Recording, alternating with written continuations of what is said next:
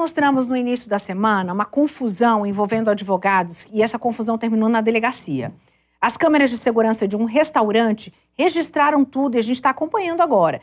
Isso tudo teria começado por conta de uma medida protetiva.